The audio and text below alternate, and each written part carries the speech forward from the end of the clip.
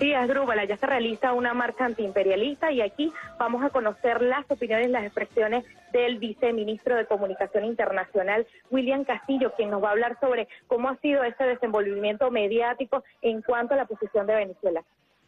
Bueno, buenos días al pueblo de Venezuela, desde Cancún, México, la tierra de Pancho Villa, la tierra de Minero Zapate, como ha hecho la cantera, muy contentos de estar aquí. Sin embargo, es importante que nuestro pueblo sepa que hemos encontrado en México un ambiente mediático muy hostil. Eh, estos hoteles no han sido acondicionados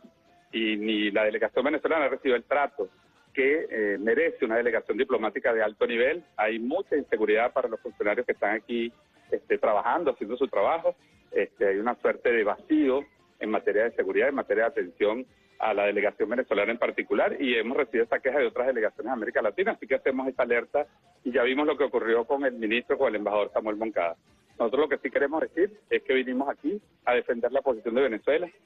a dejar una agenda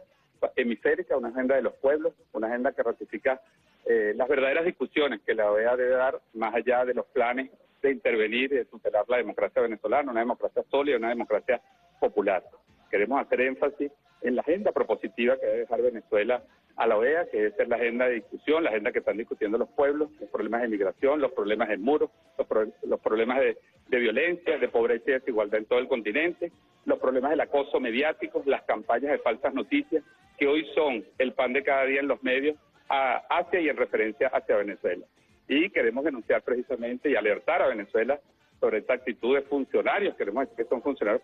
particulares que están dando apoyo a una estrategia agresiva hacia nuestros funcionarios, hacia nuestro cuerpo diplomático, y es, muy, y es muy importante que nuestro pueblo, que hoy está marchando, que hoy está en las calles en paz, que hoy está en la calle, eh, la calle reafirmando su voluntad democrática y popular, su apoyo a la constituyente, sepa que aquí en Cancún se está dando una batalla por nuestra dignidad y que, como siempre, la Revolución Bolivariana garantizará el triunfo de nuestra democracia, la defensa de nuestro pueblo y de nuestro proyecto histórico. Escuchaban ustedes palabras del,